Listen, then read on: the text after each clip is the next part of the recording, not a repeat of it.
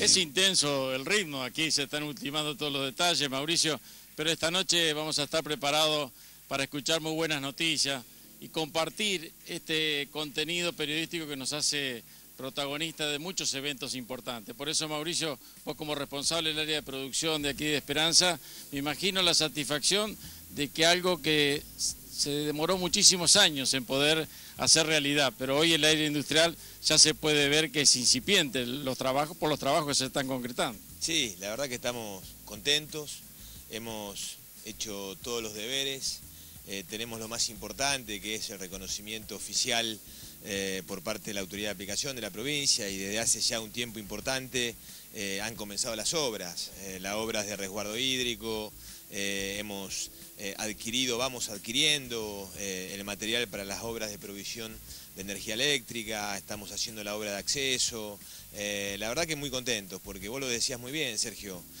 un proyecto que debió llegar a, a Esperanza hace ya muchos años, pero que sin embargo por distintos motivos se demoró, eh, en esta gestión, desde el primer día de la gestión de Ana Meiners, eh, tomamos este desafío, trabajando en conjunto con el SICAE, obviamente, con la Cámara de Transporte, con un gran aporte de todos los empresarios de Esperanza, un proyecto inédito a nivel país y avanza. Así que eh, estamos en muy buen camino. Y yo creo que también se pudo capitalizar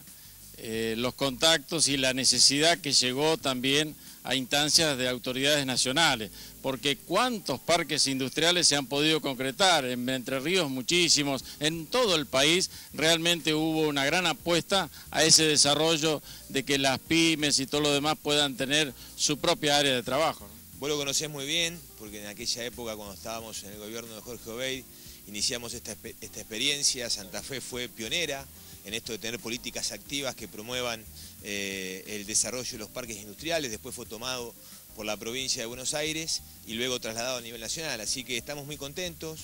Nuestro caso es un caso particular, somos los primeros que hemos desarrollado un fideicomiso, un parque industrial que nace completo y eso no ha generado quizás algunos inconvenientes para poder acceder al reconocimiento oficial a nivel nacional y poder contar con los aportes para desarrollar infraestructura, pero estamos en un buen camino, hubo una muy buena gestión del diputado nacional Omar Perotti que nos está acompañando en esto y ojalá podamos tener eh, pronto la buena noticia de, nuestro reconocimiento eh, al parque como público, porque eso, insisto, nos va, eh, nos va a permitir acelerar el desarrollo de la infraestructura. Una cosa no menor, tener el apoyo económico de muchas pymes que con sus ahorros y la confianza en esta gestión municipal formó parte de ese fideicomiso, un hecho concreto y real, aportando parte de sus ahorros y que hoy tienen toda la esperanza. Mauricio, ¿nos vemos esta noche? Por supuesto, y muy agradecidos de que hayan elegido Esperanza para compartir este evento tan simbólico del potencial productivo de toda esta región.